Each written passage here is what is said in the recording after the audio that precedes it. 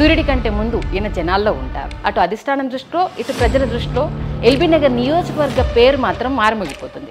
LB Nagar అనగానే ఈ పాటికి మీకు అర్థమైపోయి ఉంటుంది. ఎమ్మెల్యే దేవిరెడ్డి సుధీర్ రెడ్డి.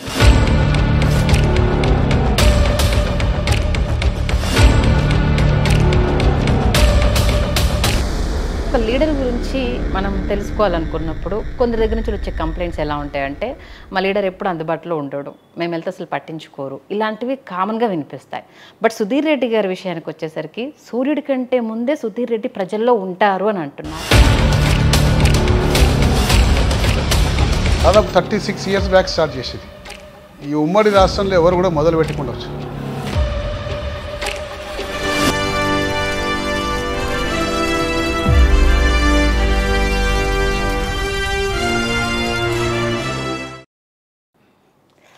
నమస్తే.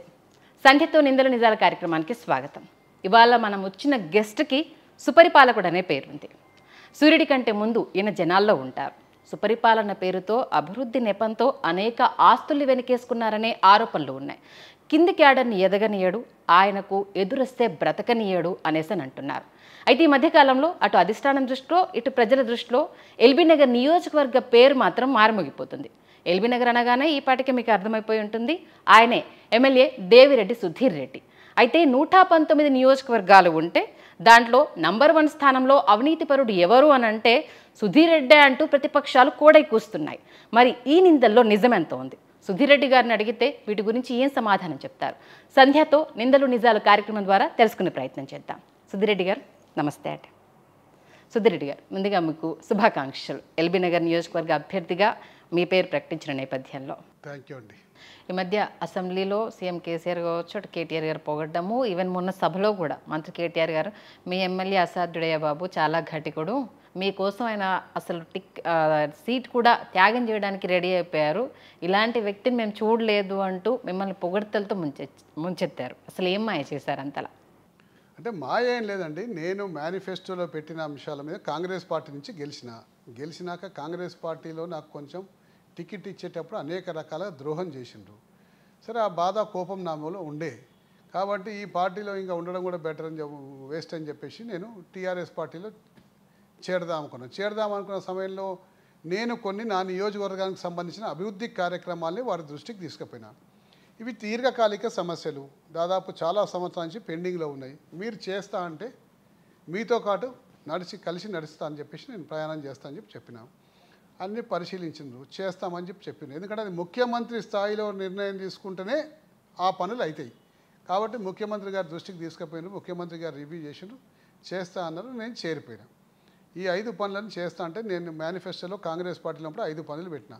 మొట్టమొదటి రిజిస్ట్రేషన్ సమస్య. చాలా సంవత్సరాల నుంచి అంటే కొన్ని కాలనీలకు ఇరవై సంవత్సరాల నుంచి ఇబ్బంది అవుతుంది. కొన్ని కాలనీలకు పద్దెనిమిది సంవత్సరాల నుంచి ఇబ్బంది అవుతుంది. దాదాపు ముప్పై మూడు కాలనీలకు దాదాపు పద్దెనిమిది వేల కుటుంబాలకి ఇలా ముఖ్యమంత్రి గారు నూట పద్దెనిమిది జీవో రాష్ట్రంలో ఎక్కడ లేని విధంగా మా నియోజకవర్గానికి ఇచ్చి మా ప్రజల్ని విముక్తి చేసిండ్రు number one. Number two property tax తగ్గింపు కేవలం నా ఒక్క నియోజకవర్గానికి ఇచ్చి ప్రాపర్టీ ట్యాక్స్ తగ్గింపు ఇచ్చిండు ఇప్పటి వరకు జిహెచ్ఎంసీ చరిత్రలో ఇదే ఫస్ట్ టైం తగ్గింపోయినది పెంచిన సందర్భాలనే కానీ తగ్గించిన సందర్భం లేదు. నా ఒక్క నియోజకవర్గానికి ఇచ్చిండు ఫ్రూట్ మార్కెట్ షిఫ్టింగ్. అంత పెద్ద ఫ్రూట్ మార్కెట్ని ఏదో అకస్మాత్తుగా షిఫ్ట్ చేయడం అనేది సాధ్యమైన పని కాదండి. ముఖ్యమంత్రి గారికి ఎంతో విల్లు ఉంటే తప్ప ఆ పని చేయలేడు. దాని మీద చాలామంది రియాక్షన్ వచ్చింది. మేము ఇక్కడే ఉంటాం మేము ఖాళీ చేయం మేము పోతామని చెప్పి వెండర్స్ ఆకర్స్ చాలామంది చేసిండు కానీ ముఖ్యమంత్రి గారు ఒక నిర్ణయం తీసుకుంటూ ఖచ్చితంగా చేయాలని చెప్పేసి అనుకున్నాడు. ఫ్రూట్ మార్కెట్ షిఫ్ట్ చేసిండు మరి అంత పెద్ద ఫ్రూట్ మార్కెట్ షిఫ్ట్ చేసి ఏం సాధించిండ్రు మీరు అని చెప్పేసి ఎవరైనా అడగొచ్చు. ఒక అద్భుతమైన వెయ్యి పడకల హాస్పిటల్ మా ప్రాంతానికి ఇచ్చిందంటే నిజంగా చాలా సంతోషం అనిపిస్తుంది. ఎందుకంటే గతంలో ఎప్పుడు కూడా గత ప్రభుత్వాలు కాంగ్రెస్ పార్టీ కానీ తెలుగుదేశం పార్టీ అధికారంలో ఉన్నప్పుడు ఈ హైదరాబాద్ నగరానికి నిజాం సర్కార్ కట్టించిన ఉస్మానియా హాస్పిటల్ కానీ నీలోఫర్ హాస్పిటల్ కానీ ENT hospital chest hospital Gandhi hospital ఇవే ఉంటుండే. కొత్త హాస్పిటల్స్ ఏం లేకుండే. Nizam orthopedic hospital.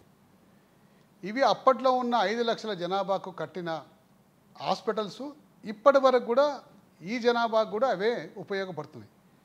సో మారుతున్న కాలానికి అనుగుణంగా హెల్త్ కేర్ని పటిష్టపరచాలి కాబట్టి హెల్త్ కేర్ని పటిష్టపరచాలంటే ఈ జనాభాకి ఈ హాస్పిటల్ సరిపోవు. ఎప్పుడు కూడా కిటకిటలు ఆడిపోతుంటాయి కాబట్టి మూడు దిక్కుల మూడు హాస్పిటల్ కావాలని చెప్పి ముఖ్యమంత్రి గారు నిర్ణయించుకోవడం మాకు కూడా అడగగానే ఒక హాస్పిటల్ వెంటనే ఇవ్వడము మాకు సనత్ నగర్కి మన జూబ్లీ హిల్స్కు మన మైనంపల్లి హనుమంతరావు గారికి మన మల్కాజ్గిరికి మూడు హాస్పిటల్స్ అద్భుతమైన హాస్పిటల్స్ ఇవ్వడం జరిగింది.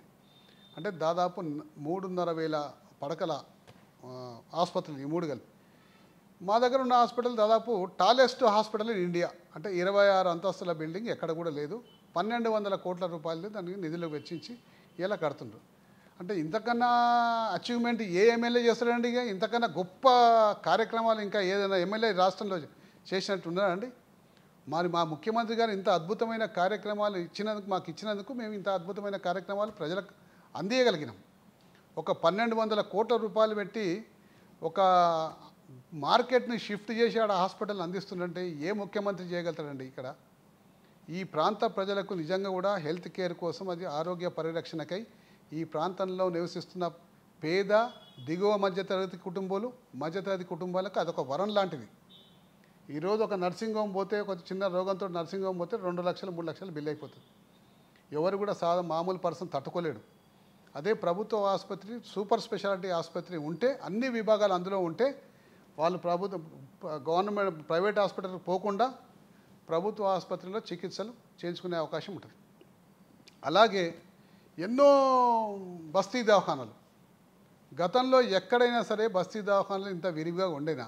ఈరోజు ఎక్కడైనా పేద ప్రజలు ఒక్క రూపాయి లేకుండా బస్తీ దవాఖానకు పోగలుగుతారు జ్వరం వచ్చినా చేపి టెస్ట్ చేయించుకోగలుగుతారు చూపెట్టుకోగలుగుతారు ఫ్రీగా మందులు పొందగలుగుతారు. ఒకవేళ టెస్టులు రాస్తే బ్లడ్ టెస్ట్ కానీ ఎక్స్రే కానీ ఈసీజీ కానీ రాసినా కానీ అక్కడ వాళ్ళకు ఈజీగా బ్లడ్ టెస్ట్ కూడా ఈసీజీ కానీ ఇవన్నీ బ్లడ్ టెస్టులు చేసి వాళ్ళకి రిపోర్ట్లు అందజేసి అద్భుతమైన ఆరోగ్య సేవలు అందిస్తున్నారంటే నిజంగా చాలా గొప్ప విషయం.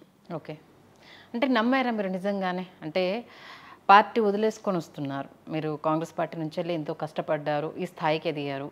మరి ప్రజల కోసము వాళ్ళు హామీలు ఇస్తున్నారు నెరవేరుతాయా లేదా అన్న డౌట్ మీకు ఎప్పుడు అడిగేసే ముందు రాలేదా? నేను ఇవన్నీ కూడా మేనిఫెస్టోలో పెట్టినప్పుడు కొంచెం డౌట్గానే పెట్టిన. ఇంత పెద్ద పెద్ద భారీ పనులు పెట్టాల్సి లేకుంటేనే అనుకున్నా. కానీ పెట్టిన. కానీ పెట్టినాక ఎట్లాగో ప్రజలకు మాట వాగ్దానం ఇచ్చినట్టే లెక్క. మరి ఎట్లాగో సంపూర్ణంగా చేయాలి ఎట్టి పరిస్థితుల్లో. ఏదో నేను ప్రతిపక్షంలో ఉన్నాను తప్పించుకోవడం లేకపోతే రెండు మూడు సార్లు తప్పించుకొని ఆ ప్రా ఆ సమస్యలను అదే విధంగా ఉంచుకుంటూ మళ్ళీ వచ్చే ఎన్నికల్లో మేనిఫెస్టోలో అదే పెట్టడం అనేది నాకు నచ్చని విషయం. కాబట్టి ఎందుకు సాధించలేం సాధించగలుగుతాం? ముఖ్యమంత్రి గారు తనతో కాటు ఆ పార్టీలో కలిసి ప్రయాణం చేద్దాం రమ్మంటున్నాడు అభివృద్ధి చేద్దాం మరి ఇవన్నీ కూడా అభివృద్ధి అయిపోతే రేపు ఇంత పెద్ద పెద్ద సమస్యలు వేరే వాళ్ళు తీర్చలేరు. మనమే తీర్చాలని చెప్పేసి ముఖ్యమంత్రి గారు పిలుపు మేరకు నేను బీఆర్ఎస్ పార్టీలోకి పోయినా ఇలా నాకు అన్నీ చేసిండు. ఈ కార్యక్రమాలు ఏ ముఖ్యమంత్రి కూడా చేయలేడు. అన్నీ చేసిండు ఇవాళ కాబట్టి నేను ముఖ్యమంత్రికి సదాగా కృతజ్ఞుడై ఉంటాను. ఓకే. కరోనా కష్టకాలంలో నాలుగు సార్లు కరోనా అటాక్ అయింది.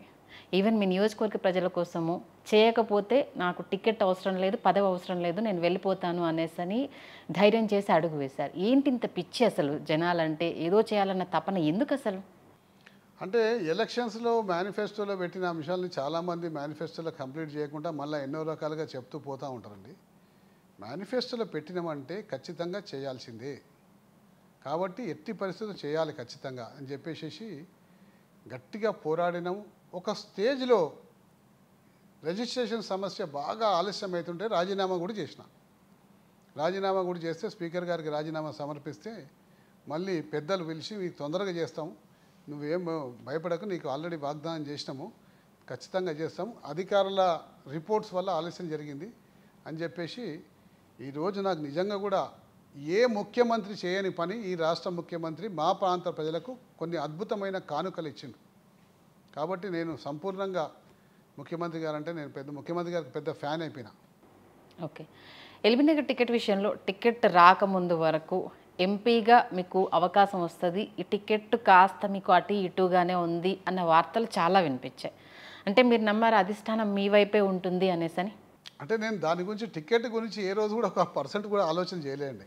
టికెట్ రా రా రాదేమో అన్న అనుమానం ఇసుమంతనే లేదండి. నేను ఎంపీగా పోతా అనే అనుమానం నేను అసలు ఒక్క పర్సెంట్ కూడా నాకు ఆలోచన లేదు. కాకపోతే కొందరు మంది స్వార్థం కోసం వాళ్ళు పుట్టించిన అంశం ఇది. ఓకే. నాకు రాదేమో అని చెప్పేసి అనడము నేను ఎంపీగా పోతా అనడము సో వాళ్ళ వాళ్ళ చుట్టూ కొంతమంది తిప్పుకోవడానికి నే వాళ్ళు కొంతమంది సృష్టించిన ఒక పుకారు ఓకే. అంతర్గతంగా ఏమవుతుందో సంగతి నాకు తెలుసు కాబట్టి నేను వాటిని ఎప్పుడు కూడా పట్టించుకోలేదు నా పని నేను చేసుకుంటూ పోతున్నాను. ఓకే. అలాగే ఉన్న నూట పంతొమ్మిది నియోజకవర్గాల్లో ఎల్బీ నగర్ కాన్స్టిట్యున్సీ అనేది చాలా పెద్దది. గతంలో పోలిస్తే ఎల్బీ నగర్ అంటే తెలంగాణ రాకముందు వచ్చిన తర్వాత లేదు మీరు ఎమ్మెల్యే అయిన తర్వాత రెండు దఫాలుగా చేశారు. ఫస్ట్ ఎమ్మెల్యేగా ఉన్నప్పటికీ ఇప్పుడు ఈ దఫా ఎమ్మెల్యేగా అయినప్పటికీ ఎల్బీ నగర్ నియోజకవర్గ అభివృద్ధిని గతంతో ఇప్పటితో పోలిస్తే సుధీర్ రెడ్డి గారు ఏమంటారు? అంటే ప్రజలందరినీ కూడా మేము ఇప్పుడు అదే అడుగుతున్నామంటే రెండు వేల పద్నాలుగు కన్నా ముందు ఎల్బీ నగర్ ఏ విధంగా ఉంది? రెండు వేల ఇరవై మూడులో ఎల్బీ నగర్ ఏ విధంగా ఉంది? కాబట్టి దీన్ని పోల్చుకుంటే మీకు ఎల్బీనగర్ డెవలప్మెంట్ అయిందా లేదా సంగతి మీకు స్పష్టంగా తెలుస్తుంది. అంటే అభివృద్ధి అంటే కేవలం ఫ్లైఓవర్లు కట్టడము లేకపోతే అందమైన పార్కులు నిర్మించడము లేకపోతే వన్ వన్ ఎయిట్ జీవో తీసుకురావడము ప్రాపర్టీ ట్యాక్స్ తగ్గించడము ఫుడ్ ఫ్రూట్ మార్కెట్ షిఫ్ట్ చేయడమే కాదండి. ప్రతి వీధిలో ప్రతి వాడలో ఎక్కడ కూడా అన్నిటికీ అన్ని బస్తీలకు వాటర్ కల్పించాలి వాటర్ సౌకర్యం కల్పించాలి డ్రైనేజ్ సౌకర్యం కల్పించాలి రోడ్ల సౌకర్యం కల్పించాలి అక్కడ ప్రాంతంలో నివసిస్తున్న పేద ప్రజలకు ప్రభుత్వ స్కూళ్ళల్లో మంచి ఫెసిలిటీస్ అందేది. ఇవన్నీ కూడా అభివృద్ధిలో భాగమండి. కానీ ఏ ఒక్క నాయకుడు కూడా అన్ని అద్భుతంగా అన్ని అన్నీ అన్ని ఒక ఒక టర్మ్లో అందించలేడు. కాబట్టి కొన్ని ప్రణాళికలు కొన్ని టర్మ్లో వేసుకుంటాం ఇంకో కొన్ని ప్రణాళికలు కొన్ని ఇంకో టర్మ్లో వేసుకుంటాం ఈ విధంగా ప్రజలకంతా కూడా విడతల వారీగా అభివృద్ధి కార్యక్రమాలు అందిస్తాం. ఇప్పుడు నేను చే- చేసిన అభివృద్ధి అంతా కూడా హండ్రెడ్ పర్సెంట్ అయిపోయింది. ఇంకా ఏం లేదు ఎల్బీ నగర్లో అని చెప్పేసి చెప్పలేము. ఇంకా చాలా ప్రాంతాలకు చాలా కాలనీలకు మంచినీళ్ళు అందియాలి. ఆ మంచినీళ్ళు అందిస్తే హండ్రెడ్ పర్సెంట్. ఎందుకంటే మొన్ననే అరవై రెండు కిలోమీటర్లు పెట్టి చాలా కాలనీలకు మంచినీళ్ళు అందించిన. అందులో ఇంకో పద్దెనిమిది కిలోమీటర్లు తక్కువ పడ్డది. టూ డేస్ బ్యాక్ అంటే నిన్న కాక మన టూ డేస్ బ్యాక్ నేను సాటర్డే రోజు వాటర్ వర్క్స్ ఎండీ గారు దానకిషోర్ దగ్గరికి వెళ్ళి ఈ మిగిలిపోయిన పద్దెనిమిది కిలోమీటర్లు కూడా శాంక్షన్ చేయించుకొని వచ్చిన. అలాగే దాదాపు పదహారు కోట్ల రూపాయల డ్రైనేజ్ వర్క్స్ కూడా టూ డేస్ బ్యాక్ శాంక్షన్ చేయించుకొని వచ్చిన. ఇట్లా ప్రతి నాలుగు నెలలకు ఆరు నెలలకు కొన్ని కొన్ని వర్క్స్ శాంక్షన్ చేయించుకొని ఇట్లా పోతూ ఉంటుందంటే కొద్ది రోజుల తర్వాత ఈ అభివృద్ధి అనేది ఫలాలు అన్ని అన్నీ అందుతాయి. ఏది ఏమైనప్పటికీ ప్రజాప్రతినిధులే ఈ డెవలప్మెంట్ చేయాలి. అంటే కాకపోతే ఇట్లా కేవలం ఎమ్మెల్యే పాత్ర ఏమి ఉండదండి. ఎమ్మెల్యే డెవలప్మెంట్ చేయాలి ఎంపీ డెవలప్మెంట్ చేయాలి కార్పొరేటర్ కూడా డెవలప్మెంట్ చేయాలి. కానీ కొంతమంది ఏంటంటే మేము ప్రతిపక్షంలో ఉన్నాం తప్పించుకుంటారు. తప్పించుకొని మా మీద వేస్తుంటారు. ప్రతిపక్షంలో ఉన్న తప్పించుకుంటారు మళ్ళీ శంకుస్థాపన చేసిన దాంట్లో మేమే శాంక్షన్ చేయించినామని భాగ్య భాగస్వామ్యులు అవుతుంటారు సరే అది రొటీన్ లేని దాన్ని పెద్ద మేము పట్టించుకోవాల్సిన అవసరం లేదు. ఇది రొటీన్ కార్యక్రమం. ఇంటింటికి నల్లా నీరిస్తాము ఇవ్వకపోతే మాకు ఓటు వేయొద్దు అంటూ గతంలో అధినేత చెప్పడం జరిగింది. మరి ఎల్బీ నగర్ నియోజకవర్గంలో మీరు ఇందాకే అన్నారు వాటర్ బోర్డ్ చైర్మన్ కూడా కలవడం జరిగింది అనేసి అని. మరి ఈ అంశానికి సంబంధించి ఎల్బీ నగర్లో ఎంతవరకు ఫుల్ఫిల్ అయింది? ఎల్బీ నగర్లో తొమ్మిది వందల డెబ్బై నాలుగు కాలనీలు ఉండండి ఈ తొమ్మిది వందల డెబ్బై నాలుగు కాలనీలో ఒక అరవై రెండు కాలనీలకు మాత్రం మంచినీటి సౌకర్యం అరకొరగా ఉంది. ఓకే. అందులో ముప్పై కాలనీలకు దాదాపు సౌకర్యం లేదే లేదు. ఈ ముప్పై కాలనీలకు ఇప్పుడు అరవై రెండు కిలోమీటర్లతో ఇచ్చేస్తున్నాం. ఇచ్చేగా కూడా ఒక పద్దెనిమిది కిలోమీటర్లు తక్కువ పడ్డది. ఆ పద్దెనిమిది కిలోమీటర్లు కూడా శాంక్షన్ అయిపోయింది. అంటే రాబోయే మూడు నెలల్లో ఈ పద్దెనిమిది కిలోమీటర్లు అరవై రెండు కిలోమీటర్లు మొత్తం ఎనభై కిలోమీటర్ల పైప్ లైన్ అయిపోతుంది తొంభై ఐదు శాతం పూర్తి అవుతాయండి ఇంకొక ఐదు శాతం అంటే ఒక ఐదు ఆరు కాలనీలు ఎక్కడైనా ఇంకా కొత్త కాలనీలు. అంటే ఈ ఈ టౌన్ ఎట్లుంటుంది అండి ఈరోజు ఉన్న కాలనీలు ఒక మూడు సంవత్సరాల తర్వాత ఒక ఇంకో కాలనీ కొత్త కాలనీ వెలుస్తుంది. అంటే అక్కడ కొంతమంది ఇల్లు కట్టుకోగానే ఆటోమేటిక్గా మనం దీన్ని ఎక్స్టెండ్ చేసుకుంటే పోవాలి. అవును. కాబట్టి తొంభై ఐదు శాతం వాటర్ ఇచ్చేసినాం. ఈ వాటర్ ఇచ్చిన దాదాపు మ్యాక్సిమం కాలనీలకు నేనే ఇచ్చాను. హుడా చైర్మన్గా ఉన్నప్పుడు ఒక నూట నలభై కాలనీలకు ఇచ్చాను. ఇప్పుడు దాదాపు ఒక అరవై డెబ్బై కాలనీలకు ఇస్తున్నాం. అరవై కాలనీల కంటే దాదాపు అదొక నూట రెండు వందల కాలనీలకు అవుతుంది గతంలో హుడా చైర్మన్గా ఉన్నప్పుడు పాత కాలనీలో అంతర్గత లైన్లు కూడా కొంచెం పాడైపోతే అవి కూడా ఇచ్చాను. మ్యాక్సిమం కాలనీలకు మంచినీళ్ళు అందించిన నేనే అందించడం జరిగింది. వర్షాకాలం వస్తే హైదరాబాద్ డొల్లతనం అంతా వీళ్ళు చెప్పుకుంటున్న అభివృద్ధి అంతా నీళ్ళలో కొట్టుకుపోయే స్థితి. అసలు రోడ్లు అభివృద్ధి చేశాము డ్రైనేజ్ అభివృద్ధి చేశామని చెప్తూ ఉన్నారు. బట్ మొన్న వచ్చిన ఫస్ట్ వర్షానికే హైదరాబాద్ రోడ్ల స్థితిగతులు ఏంటి ట్రాఫిక్ ఏంటి అంటూ కూడా ప్రతిపక్షాలు కోడైపోసాయి విశ్వనగరం అని చెప్పుకుంటున్నారు రోడ్ల మీద వెళ్ళి అడగండి అంటూ కూడా సవాల్ విసిరిన సందర్భం ఉంది. మరి ఎల్బీ నగర్ స్థితిగతులకు సంబంధించి రోడ్లు డ్రైనేజీ అదే రేంజ్లో ఇంకా ఉన్నాయా? లేకపోతే అభివృద్ధి జరిగింది? అంటే ప్రతిపక్షాలు ఫస్ట్ ఒకటి గుర్తుంచుకోవాలండి ఎస్ హైదరాబాద్ నగరంలో వర్షం పడితే అనేక రకాల ఇబ్బందులు వస్తాయి. మేము కూడా ఒప్పుకుంటున్నాం దాన్ని. ఎందుకంటే హైదరాబాద్ నగరంలో యొక్క స్టామ్ వాటర్ డ్రైన్ సిస్టమ్ కానివ్వండి రెండు సెంటీమీటర్ల వర్షానికి మాత్రమే తట్టుకునే శక్తి ఉన్న మన దగ్గర సిస్టమ్ ఉంది. గత పాలకులు అంటే టీఆర్ఎస్ పార్టీ రాకముందుకు టీడీపీ అండ్ కాంగ్రెసే ఎక్కువ అత్యధిక శాతంలో అధికారంలో ఉన్న పార్టీలు ఆ రెండే. టీడీపీ వచ్చి మనం తొమ్మిది సంవత్సరాలే పూర్తవుతుంది అందులో స్టేట్ కొత్తగా అయిపోయింది కాబట్టి కొత్త అనేక రకాల స్కీమ్స్ ఫస్ట్ చేయాల్సి ఉంటుంది. అయితే ఈ మధ్య కాలంలో నిజంగా రెండు వేల ఇరవైలో రెండు వేల ఇరవై ఒకటిలో పడ్డ వర్షాలు నూట ఎనిమిది సంవత్సరాల తర్వాత పడ్డ అత్యంత భారీ వర్షాలు. ఈ అత్యంత భారీ వర్షాలకు నిజంగా కూడా నగరం అంతా కూడా అతలాకుతలమైన మాట వాస్తవమే. వెంటనే ప్రభుత్వం మేల్కొని ఈ సిస్టాన్ని సమూలంగా మార్చాలి. లేకపోతే రేపు భావితరాల వాళ్ళు ఇబ్బంది పడతారు. దీనికి ఒక మా పరిష్కార మార్గం కనుగొనాలని చెప్పేసి ఎనిమిది వందల కోట్ల రూపాయలతోటి SNDP strategic nala development programme అని చెప్పి హైదరాబాద్లో నాలాల నిర్మాణ కార్యక్రమాలను మొదలుపెట్టింది. అందులో నాకు నూట పదిహేను కోట్ల రూపాయలు నా నియోజకవర్గానికి వచ్చినాయి. దాదాపు తొంభై శాతం తొంభై ఐదు శాతం పనులు పూర్తయినాయి. ఇంకో ఐదు శాతం పూర్తి అవుతుంది మొన్న వర్షాలకు నా నియోజకవర్గంలో తీవ్రమైన ఇబ్బంది లేదు. కాకపోతే మీడియా వాళ్ళకి చిక్కేది ఏంటంటే ఉదాహరణకు ఒక ఉదాహరణ చెప్తాను. వైభవ్ టిఫిన్ సెంటర్ అని చెప్పి గడ్డెనారంలో ఒక చిన్న గల్లీ ఉంది. భారీ వర్షం పడ్డది మొన్న. నీళ్ళు నిండిపోయినాయి. టూ ఫీట్ దాకా రోడ్డు మీద నీళ్ళు నిలిచిపోయినాయి. నీళ్ళు నిలిచిపోయినప్పుడు ఎక్కడ ఏం ప్రాబ్లం వచ్చింది? ఇంత అద్భుతంగా చేసిన మళ్ళీ ఎందుకు నిలిచిపోయినా అని చెప్పేసి అంతా వెతికితే అక్కడ చిన్న డ్రైన్ ఉంది ఓపెన్ డ్రైన్ ఉంది. ఆ డ్రైన్లోకి అన్ని నీళ్ళు వెళ్ళిపోవాలి. అక్కడికి వెళ్తే ఒక లేబర్ని పంపించి అంత క్లీన్ చేపిస్తే ఓ రెండు వందల ప్లాస్టిక్ బాటిల్స్ వెళ్ళాయి. ఓకే. అంటే ఇవన్నీ మానవ తప్పిదాలు ప్రభుత్వం తప్పిదాలు కాదు ఇవన్నీ మానవ తప్పిదాలు. వెంటనే క్లీన్ చేపిస్తే ఇరవై నిమిషాల్లో నీళ్ళు వెళ్ళిపోయి అంటే ఈ స్పాట్ దగ్గరనే అప్పటికే పది మంది వచ్చి మీడియా వాళ్ళు వచ్చి అదే తీసుకొని పోయారు కాబట్టి ఆ మీడియా వాళ్ళకి అదే కనిపిస్తుంది. ఆ స్పాట్ ఆ టైమింగే కనిపిస్తుంది కాబట్టి వాళ్ళు అదే తీసుకొని పోతారు. ఏది ఏమైనప్పటికీ దాదాపు మళ్ళీ వర్షాలు వస్తే మా దగ్గర గత రెండు సంవత్సరాల అనుభవానికి ఎంతైతే తీవ్రంగా నష్టపోయినామో ఈసారి ఎనభై నుంచి ఎనభై శాతం తీవ్రత తగ్గిపోతుంది సమస్య పరిష్కారం అయిపోయినట్టు. అంటే ఎనభై శాతం అంటే చాలా పెద్ద పర్సంటేజ్ ఇన్ కేస్ మొన్న కొట్టిన వర్షం కనుక మళ్ళీ కొడితే అంటే ఎల్బీ నగర్లో ఎక్కడ శివారు ప్రాంతాల్లో నీట మునిగే కాలనీలు అసలు లేవా? నీట మునిగిపోయి కాలనీలు లేవు లేవు కానీ ఇంకా కొన్ని నీట ఇనాండేషన్ వాటర్ లాగింగ్ పాయింట్స్ ఇంకా కొన్ని ఉన్నాయి. అయితే ఒకటే సంవత్సరం రెండు సంవత్సరాలు చేయలేం కానీ ఇప్పుడు వన్ నూట పదిహేను కోట్ల రూపాయలు ఒక టూ ఇయర్స్లో పెట్టినాం. ఇప్పుడు రాబోయే రోజుల్లో ఇంకో యాభై అరవై కోట్లు పెట్టేస్తే ఇప్పుడు ఆ చిన్న చిన్న పాయింట్స్ కూడా అన్ని ఇందులో కలిపేస్తే ఇక నీట మునిగా అంటే వాటర్ వాటర్ లాగింగ్ పాయింట్స్ అనేవి ఉన్నాయి ఇంకా కొన్ని ఉన్నాయి. ఓకే. కానీ మొత్తం పరిష్కారం కాలే. ఆ కొన్ని కూడా చేసేస్తాం. ఓకే. అలాగే ఇందాక చెప్పారు టిమ్స్ హాస్పిటల్ లార్జెస్ట్ ఎత్తున్నది ప్లస్ ఇప్పటివరకు మన హైదరాబాద్లో లేనిది అనేసి అని. దాంతోపాటు అంటే గతంలో గవర్నమెంట్ హాస్పిటల్కి వెళ్ళాలంటే భయపడే స్థితి. డాక్టర్లు ఉండరు నీట్నెస్ ఉండదు వెళ్ళినా పట్టించుకునే నాదుడు ఉండడు అనేది. మరి ఎల్బీ నగర్ నియోజకవర్గంలో ఉన్న గవర్నమెంట్ హాస్పిటల్స్లో పరిస్థితులు అలానే ఉన్నాయా? మార్పులు చేర్పులు ఏమైనా జరిగాయా?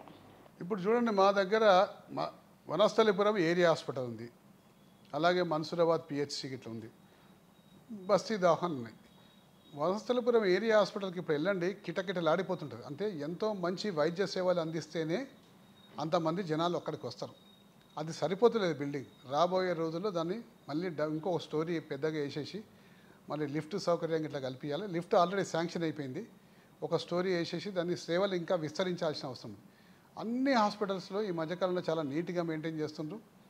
చాలా పగడ్బందీగా మెయింటైన్ చేస్తుండ్రు. మెయింటెనెన్స్ కూడా చాలా బాగుంటుంది. కాబట్టి ప్రతి హాస్పిటల్లో జనాలతో కిటకిటలాడిపోతుంది. ఓకే.